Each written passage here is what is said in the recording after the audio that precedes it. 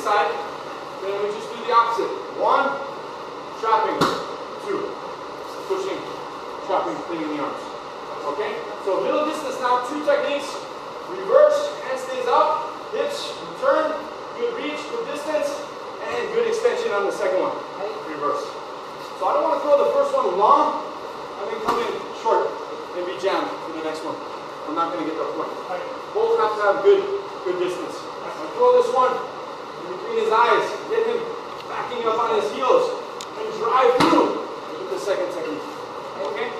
same thing will go back and forth.